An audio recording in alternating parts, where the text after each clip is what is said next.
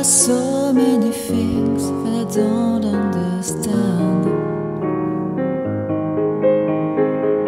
There's a world within me that I cannot explain.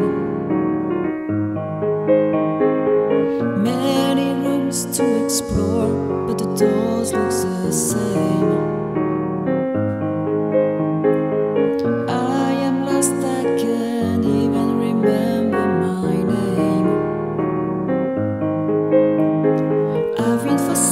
times looking for someone I need to know now. Please tell me.